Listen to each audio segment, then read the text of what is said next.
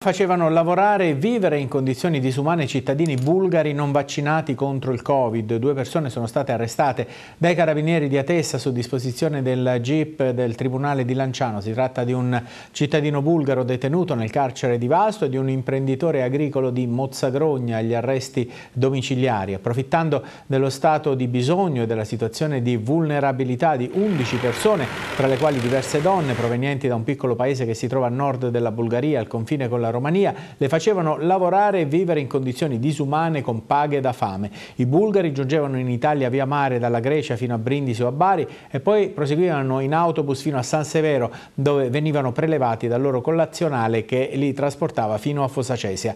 Nella località rivierasca della provincia di Chieti venivano ospitate fino a 11 persone, tutte sprovviste di vaccinazione anti-Covid-19 in un locale di proprietà dell'imprenditore agricolo fatiscente con gravi carenze igienico-sanitarie sanitarie.